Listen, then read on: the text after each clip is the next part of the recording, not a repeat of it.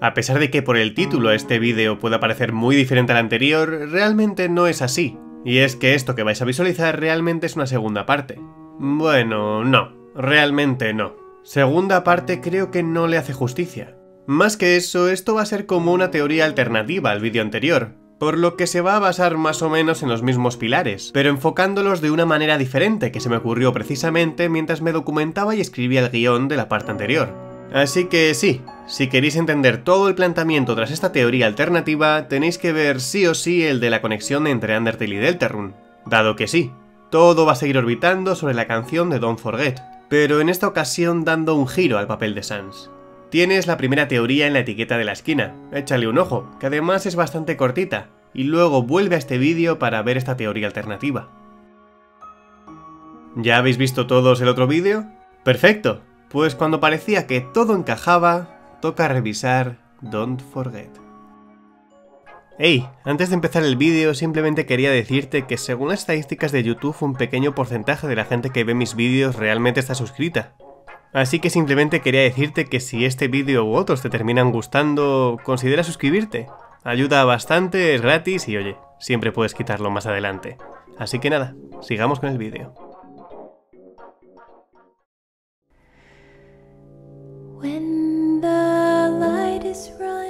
Como ya vimos en el anterior vídeo, es muy probable que la canción de Don't Forget fuese escrita por W. de Gaster para Sans, por todos los indicios que podemos encontrar tanto en su taller como en la propia letra de la canción.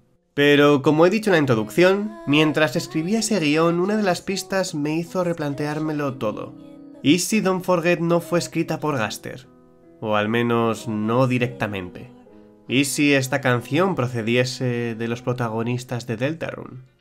Sí, sí, lo sé. Sé que esto de primeras puede parecer un poco chocante para vosotros, y más después de haber visto el vídeo anterior. O puede que alguno ya haya pensado en esta posibilidad, pero sin mucho razonamiento detrás. Pero seguramente, al igual que en mi caso, la semilla de esta idea fue una simple pregunta. ¿Y si el pobre dibujo de las tres personas es de Chris, Ralsei y Susie? Pero Sirgeri, ¿cómo van a ser los de la Fangans si Deltarune ni siquiera ha salido completo y el primer episodio fue lanzado mucho después de Undertale? Pues sí y no.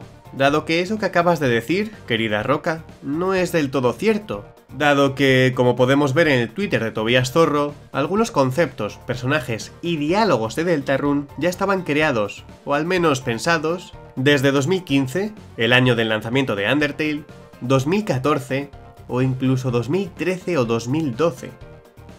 Y no solamente eso, sino que en otro tweet suyo podemos leer que la idea de hacer un RPG terminó siendo Undertale, pero la idea original que tenía terminó derivando en Deltarune mientras desarrollaba Undertale. Y de hecho, en su explicación sobre Deltarune al poco de lanzar el primer capítulo, dice dos cosas muy, pero que muy interesantes. La primera, que ya tiene toda la historia escrita, a pesar de no tener absolutamente nada más del juego. Y la segunda, que el final de Undertale es invariable, hagas lo que hagas en Deltarune. Una vez resaltados estos dos puntos, ¿qué nos ha quedado claro realmente? Primero, que me sigáis en Twitter, que por ahí he ido rescatando perlitas como esta, y así os enteráis fijos si hay nuevo vídeo de Undertale o Deltarune o de cualquier otra cosa. Nah, venga, ahora en serio. La primera, que Deltarune comenzó su desarrollo, aunque fuese de forma casual, en 2012 o incluso antes, pero como mínimo 3 años antes del lanzamiento de Undertale. La segunda, que Undertale y Deltarune compartieron tiempo de desarrollo. Y la tercera, que Deltarune es un universo diferente dentro de lo que es el lore de Undertale, sí. Pero Toby Fox solamente especifica que hagas lo que hagas con Chris, el final de Frisk seguirá siendo exactamente el mismo, pero en ningún momento dice nada sobre que no puedan estar conectados. Esto podría parecer mirar con demasiada lupa sus palabras, pero recordemos que estamos hablando de Tobias Zorro, y que deja bastantes pocas cosas al azar. Podría haber dicho directamente que Undertale y Deltarune no están conectados, pero en vez de eso se ha limitado a decir que lo que ocurra en Deltarune no va a cambiar el final de Undertale. Con estas tres cosas en mente y tras haber seguido a Sirgeri barra baja ahí en Twitter, Creo que no es descabellado pensar que, con la cantidad de finales diferentes y totalmente contrapuestos que tiene Undertale, aunque se trate de un universo diferente a Deltarune, para que ambos puedan estar relacionados en una historia global pero manteniendo un sentido, la única opción es que Deltarune suceda antes que Undertale. No cronológicamente, claro está. Hablando de diferentes universos, eso realmente no tiene sentido. Aunque si seguís sin entender esto, podéis echarle un ojo al vídeo en el que explico lo que es Deltarune. Simplemente estoy diciendo que podemos suponer que lo que suceda en Deltarune, en caso de estar conectados, derivará en Undertale. Lo cual cuadra perfectamente con que Deltarune vaya a tener un único final, como dijo Toby Fox en el tweet longer que ya hemos visto. Hagamos lo que hagamos, el final de Deltarune va a ser siempre el mismo.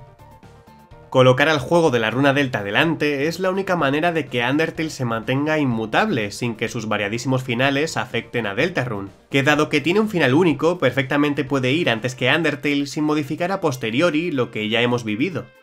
Evidentemente, repito, todo esto es contando con que finalmente sí estén relacionados. Si al final no lo están, pues yo qué sé, al menos habremos pasado un buen rato hilando cosas. Pero ahora volvamos con nuestro esqueleto regordete, que no se me había olvidado. Aunque Deltarune sucediese antes que Undertale y estuvieran desarrollados a la vez, ¿qué tiene que ver eso con Sans? Con todo esto estaría afirmando que el Sans de Undertale es el mismo que el de Deltarune y que, como ya he dicho, en su taller tenemos un dibujo del club de fans de Lancer. Toca volver a Snowdin para ver si encontramos algo en lo que basarnos.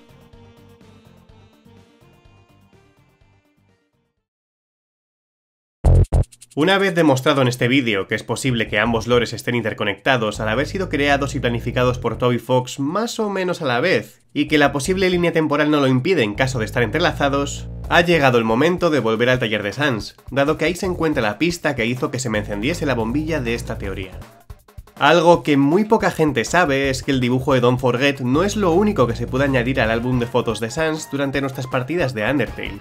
Y es que, como buen álbum de fotos, también podemos provocar que Sans añada, como no, una foto junto a Frisk y el resto de personajes del Underground, seguramente la que vemos en el final pacifista. Sé que esta curiosidad puede no parecer muy relevante, dado que ya sabemos que Sans es una especie de viajero del tiempo, con conocimiento de las distintas líneas temporales y demás. Pero es que para mí esta fue la clave para entender lo que significa este álbum de fotos, su verdadero propósito y su importancia para nuestro esqueleto podría desmentir la teoría imperante de que lo que no quiere olvidar Sans es a Gaster, o al menos darle una nueva perspectiva. Como muchos ya sabréis, se nos dice que en el álbum de fotos de Sans se le ve a él con gente a la que Freeze no conoce, pero hay algo que comparten todas ellas. Se le ve feliz. Y aunque pudiera no parecerlo, que Toby Fox decidiese destacarlo, lo convierte en un detalle muy importante. La foto que os mencioné antes podemos hacerla aparecer en una situación muy concreta. Cuando nos hemos pasado a Undertale en una run pacifista, si hemos desbloqueado el taller de Sans y nos pasamos por él antes de ir a la superficie, podemos ver que ahí está la nueva foto en el álbum. Como ya he mencionado antes, seguramente sea la que veremos posteriormente si decidimos no quedarnos con Toriel. Pero lo curioso es que Frisk vuelve a destacar que Sans parece feliz. Con estos pocos datos, pero tan remarcados por Toby Fox, ¿cuál es entonces el propósito de este álbum de fotos? ¿Con quién se supone que sale Sans en ellas y por qué no hay nadie a quien conozcamos?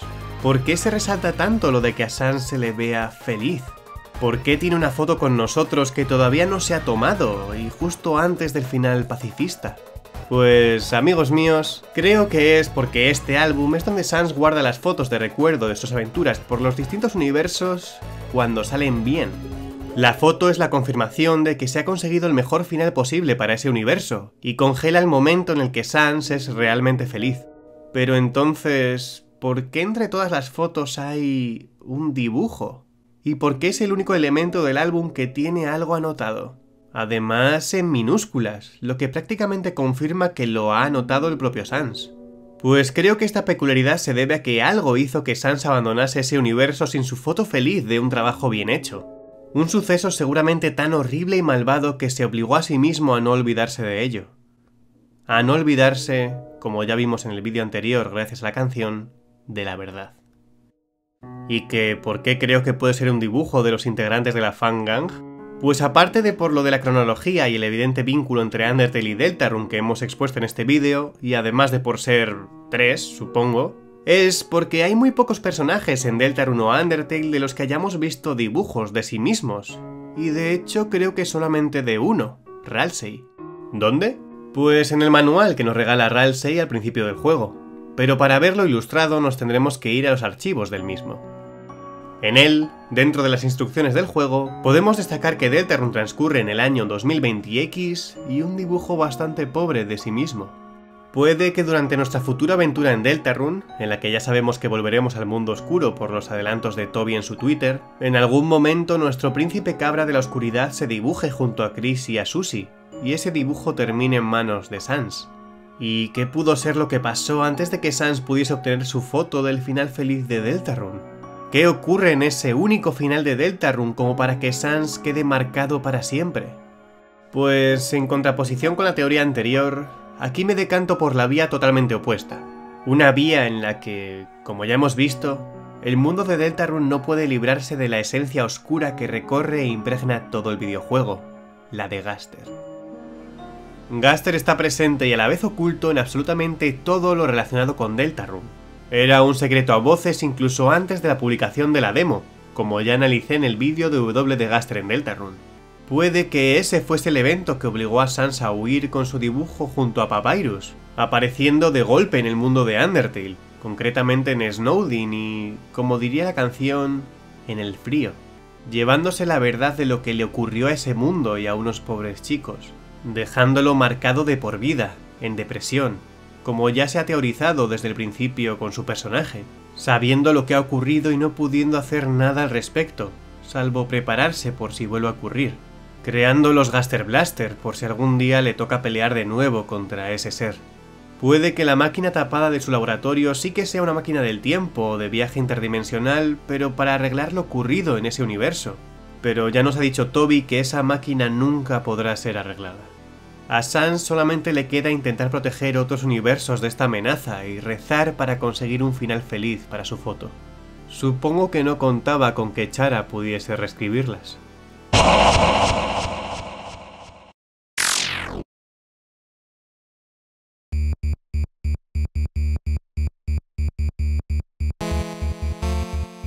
Sé que todo esto está siendo difícil de digerir para vuestro pobrecito corazón, pero todavía quedaría un pequeño apunte por hacer. Y es que, como ya he comentado en otros vídeos como el de Quién es Suzy, el dibujo de Don't Forget no aparece de casualidad, sino que solamente se materializa cuando Clamgirl nos habla de Suzy. Clamgirl, ya la vimos en su vídeo, pero creo que merece la pena recordaros que es un personaje cuya aparición depende del valor de fan, y que tiene un sprite gris que nos avisa de un peligro inminente que se avecina como si de un seguidor de Gaster se tratase. Pero claro, si el dibujo solamente aparece tras hablar con ella, podría estar indicándonos que Sans no consiguió el dibujo antes de que suceda todo Undertale, sino... a la vez. Pero, Sirgeri, antes dijiste que Deltarune sucedería antes que Undertale. También has dicho que ocurre en 2020X y no en 2010X. Y ahora dices que puede que sucediesen a la vez. Lo único que sé es que me empieza a doler la cabeza.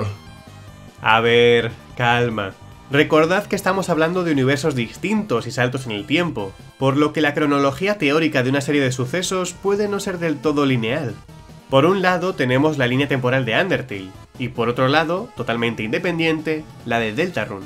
Como sabemos, Chara cayó al subsuelo en el año 2010X, mientras que la aventura de Chris transcurre en el 2020X.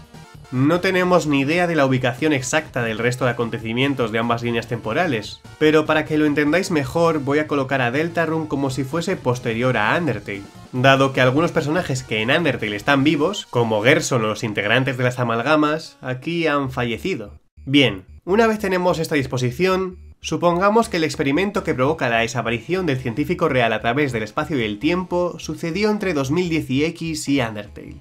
No sabemos si este suceso afectó a otras líneas temporales y si contaminó a Deltarune o al Gaster de Deltarune, pero imaginamos que tienen relación. No nos importa mucho cuándo sucedió exactamente, dado que al afectar al tiempo y al espacio podría tener efecto a lo largo de toda la línea o líneas temporales, que es lo que nos dan a entender con el resto de sus seguidores. Ese evento provoca algo que hace que Deltarune esté hasta arriba de la esencia de Gaster, o al menos brinda a Gaster la habilidad de, por alguna razón que desconocemos, interaccionar con dicha dimensión, como parece indicarnos el inicio de la demo. Si lo que hemos expuesto en este vídeo es mínimamente acertado, sucederán X cosas que provocarán que Deltarune termine absorbida por la oscuridad del científico, provocando la huida de Sans y la aparición de dicho dibujo en su taller durante nuestra aventura por Undertale, que a pesar de encontrarse en otro punto temporal, podría verse afectado por la adimensionalidad de Gaster. Nunca dije que esta teoría fuese sencilla. ¿Significa esto que gracias a lo que suceda en Deltarune, la historia de Undertale podría verse ampliada en un futuro, al igual que se añadió la aparición de Clamgirl años después del lanzamiento del juego?